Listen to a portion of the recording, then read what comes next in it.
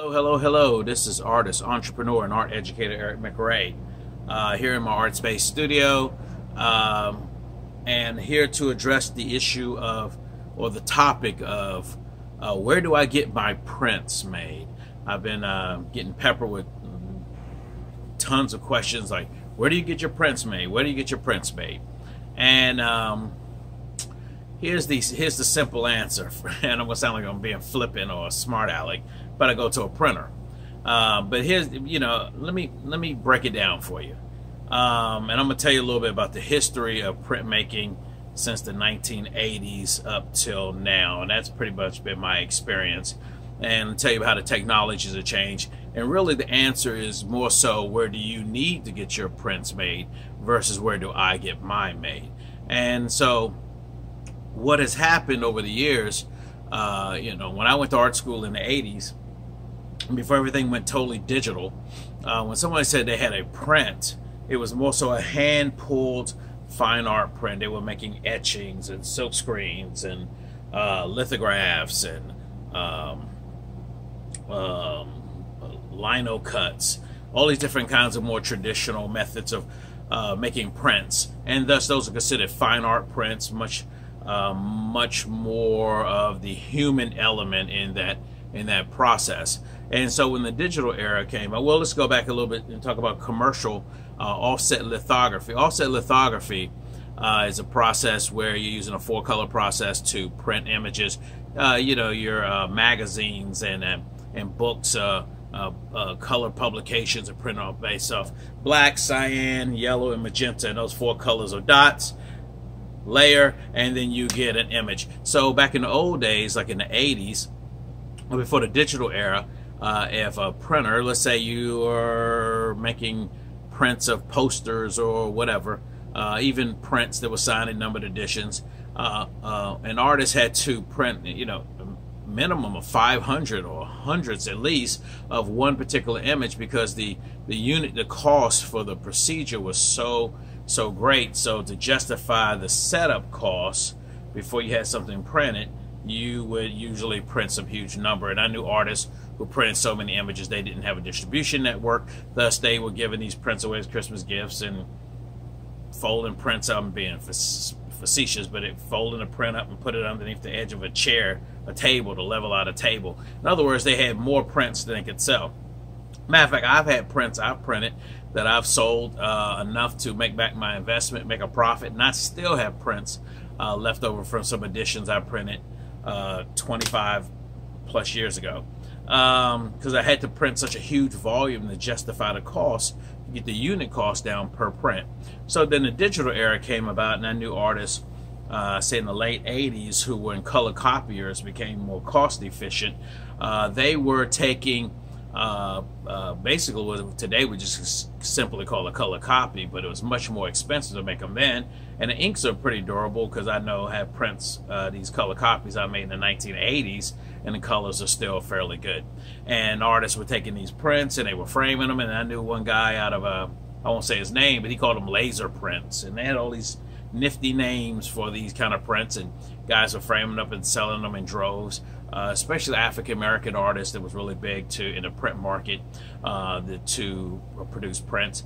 And in the broader uh, popular art market, you know, you had artists producing all kind of stuff. You take a guy like Thomas Kinkade or uh, a really popular artist who were printing, you know, 10,000 prints at a time, uh, uh, masses of masses, 100,000 prints because they had such a massive demand for their work. So they were using offset lithography. And then, so then you had the, the person who was doing these small edition uh, color copies. They might print 20, 30 of them at a time, and they didn't have massive uh, demand, but they could produce enough that it was cost efficient and they could turn a profit on the sale of these works. And they were unique and they were affordable to consumers who could not afford originals and artists wanted to be able to make a, a, living from the selling of their original work. Well, then it come along, and that fancy word known as giclée comes along, and no one can pronounce this. It's pronounced giclée, not glycée. It's a giclée, and it's a French term.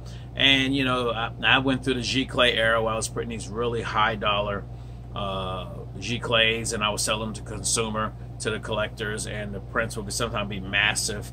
Uh, and, and the process more so based off the capture of uh, digitally scanning and remastering these images. And then they, sometimes they would look as good as the painting and better than the painting. But the thing about it, you would make these super high-end prints that uh, uh, were on this really elegant, high-quality papers. They were all. It was basically like uh, producing a Bentley and trying to sell it to a Chevy crowd, or uh, you have a, a, a, Maserati and you're trying to sell it to uh, a Ford crowd.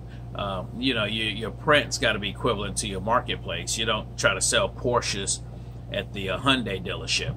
So, you know, there's different levels in the marketplace when it comes to prints as well as for cars or even dining. You know, there's the $100 meal and then there's the $7 meal. Uh, you know, go to Denny's here or you go to some high-end restaurant there, and the print market is very similar in the sense that you're producing things appropriate for your clientele and their price point and what they can afford because they want an easy way, easy entryway into collecting work or uh, um, an affordable way to access the print market. And uh, you coming out, and I did, I had prints that were like hundreds and hundreds of dollars. Uh, they were more expensive than some of my small originals because my upfront costs were just astronomical, and I found that was not a cost efficient way.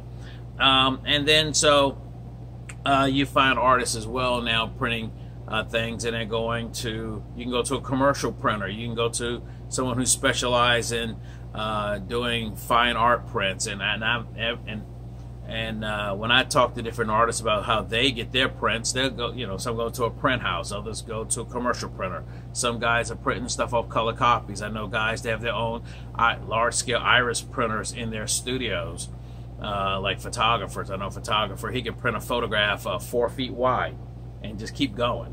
I mean, he could print a he could print a photograph as large as one of my huge canvases, and then there are places that can do canvas editions. You can go. I know an artist who goes to Costco and prints photo photo reproductions, and the criticism is they're kind of blurry or, uh, but then you have to. The comment was after they're framed up, they look decent.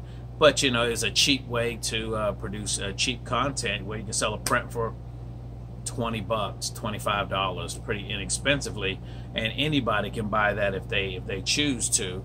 Um, and then my prints tend to range I, I find $50 and up seems to be a pretty comfortable place for a lot of my clientele. I don't want them too cheap, I don't want them too expensive. So that's enough that it can, it's affordable, uh, but not where I'm giving them away and they they have a diminished value uh, because I worked really hard to build my market value in my brand, so I don't think $50 is unreasonable. For example, here's my most recent print. This is Jam Session. You see that I put I had mine printed with a glossy coat, kind of embellishes the sense of color that looks like my paintings. So excuse the hot spots. That that's because of my uh, my track lights. But you'll see here's where I sign it here in paint. That's actually acrylic paint. And then on the back of each print, you'll see where I hand sign is in reverse because I'm doing it. So it's not like this uh, normally, but this is how it looks because of I'm doing um, got on a selfie mode. So, but basically, it's a jam session, uh, McRay 2019, and just showing in reverse. But there we go. So that's my print. I put it on really high quality paper. Sound like thunder and lightning, doesn't it? Because it's not cheap, flimsy paper. Good stock. It'll hold up. It'll last a long time. Frame it up. It's 18 by 24 inches. Can easily go in a ready-made frame. And one of the issues always with anything on paper is framing cost, And you don't want your collector to have to spend five times what they pay for the print to frame it. Only person getting rich is the framer. The consumer's losing out, and the, the artist is losing, and the framer's getting rich. So Here's a way we can have a uh, unique work, fine quality, and, and at a reasonable price, and as well be able to frame it at a, at a reasonable price. I'm always thinking about the consumer uh, when I'm, I'm, launching out with these new projects. And, and Jam Session is, I think, the fifth print in my new series of 18 by 24 inch uh, prints. I did a Sunday, Welcome to Raleigh, Raleigh Skyline, and now jam session. So that's my fourth. Yeah, and I got a fifth one coming out, uh, which is uh, Central Sunset, and we're having a problem getting the color correct on that. So I apologize to anyone who's still waiting, uh, and I'm not uh, who's done pre-order. It's not going to flim flam you out of your money. That's not a, that's not a issue at all. It's more so getting the quality right, so you're pleased and I'm pleased. So um, I want to always give my consumer and my collectors quality. I'm always protecting the brand, and I'm always protecting uh, my customers' interests because I always want my collectors to, and my patrons to be happy uh, with anything I, that comes out of McRay Studios. Uh, so back to printing as a whole, you have to search out and be willing to make mistakes and try different things and say, well, this this process I end up with too many prints. This process may be too expensive uh, for me to print these things on a regular basis. Uh, or you know the quality isn't here or the quality is too high um, you gotta you gotta get out there and try different things and experiment and don't be uh, afraid to uh, make mistakes or have a trial and error process. Um, some artists are printing stuff on canvas. I have not done canvas editions uh, personally because I don't want to uh, muddy the waters between what's an original Eric McRay canvas and a reproduction. Not to say I will never do it, but at this time that's an issue. I don't want anybody to uh, have the misconception they have an original or uh, someone that is projecting that they have an original and they have a reproduction and diminishing the value. So I'm always protecting the value of the art that other people, uh, my uh, patrons and my collectors have already invested in.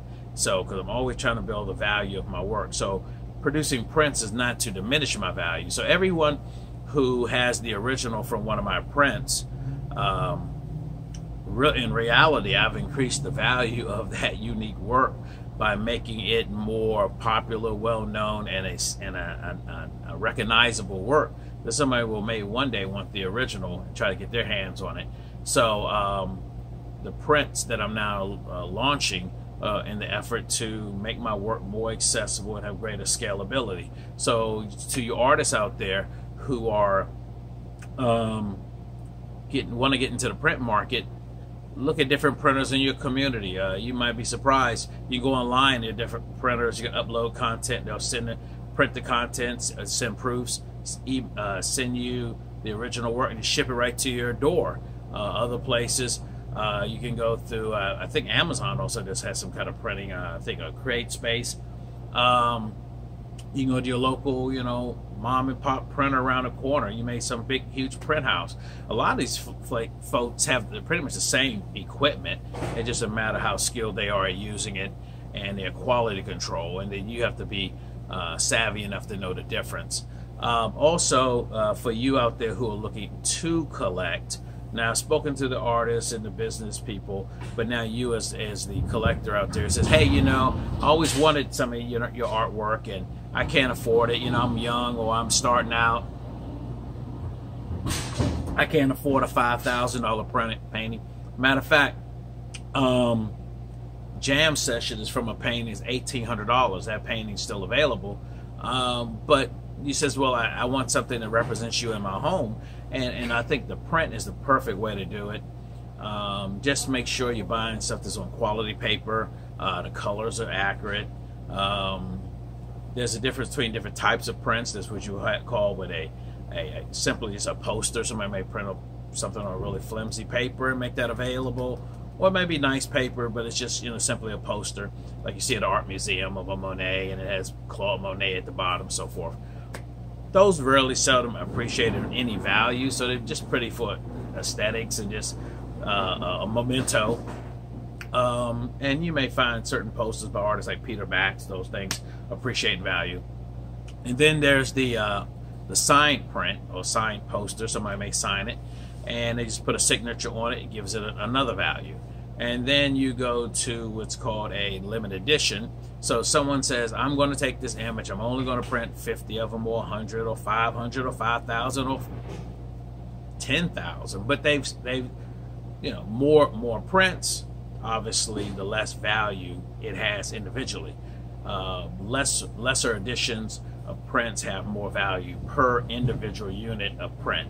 So, say Jam Session is an open edition print because it, I feel that it will continue to sell for an extended period of time, and and that it's something that I think has a great enough appeal that I could continue to make it available for uh, uh, as long as somebody has interest in the work of Eric McRay.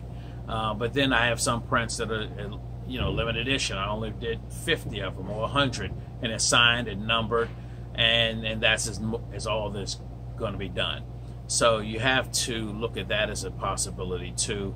And when you look at the price of the sale of the piece and the value of the piece.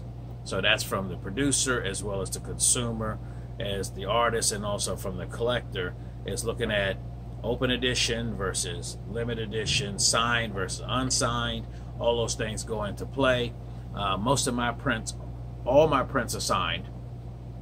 Uh, questions whether they're open edition or limited edition. My Raleigh Skyline image is an open edition. I have a print called Sunday. It's only 50 of those were printed, and they've sold very well. Um, and I will print produce more of those.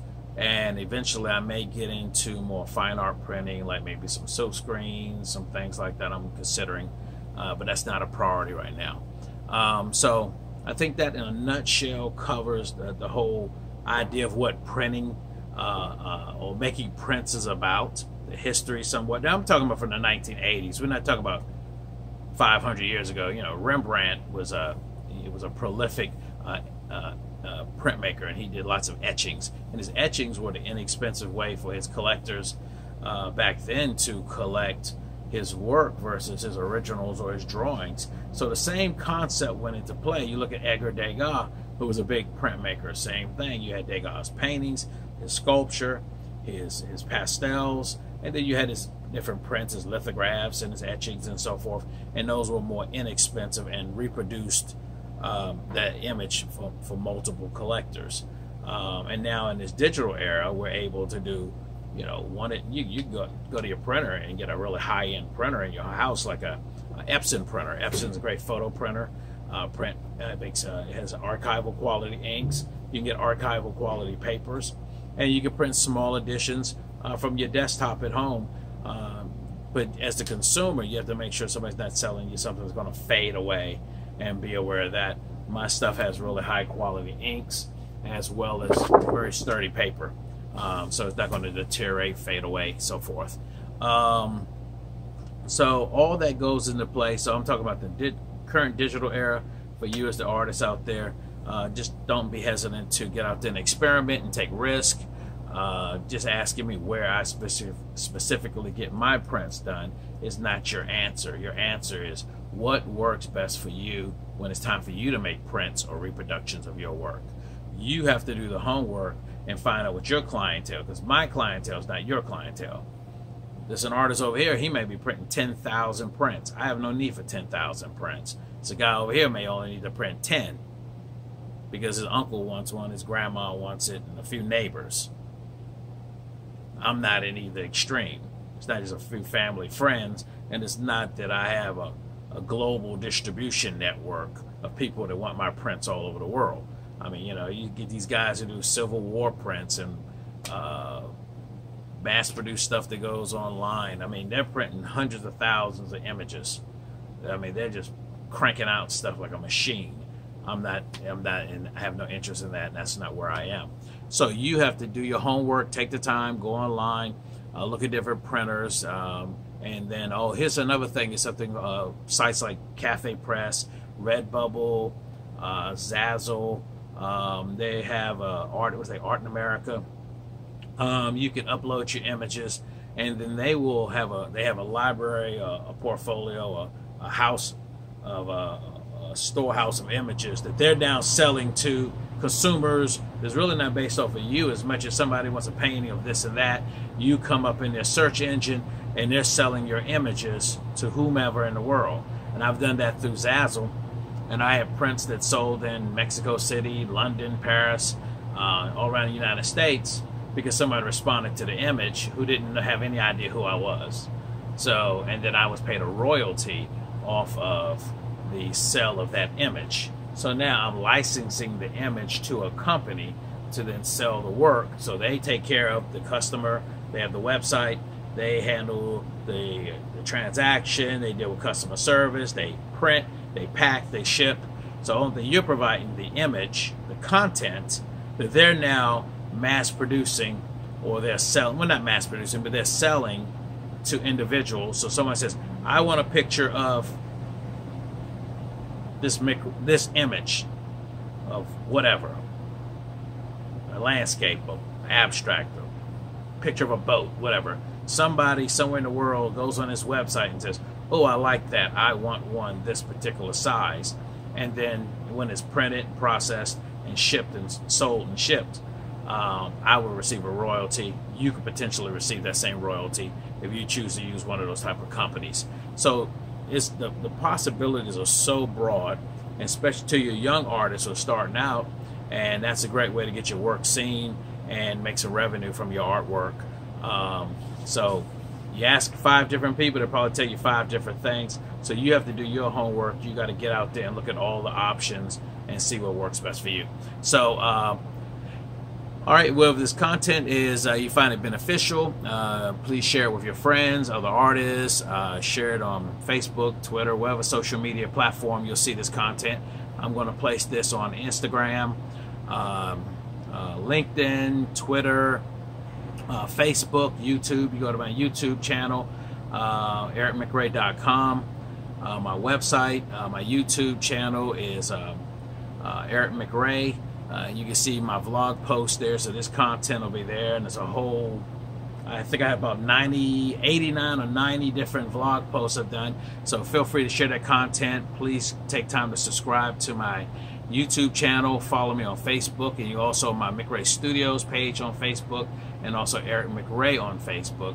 And you can find me under Eric McRay also on LinkedIn and on Twitter under um, McRay Studios. So all this content is going to be floating out there on the web. Make sure you share it.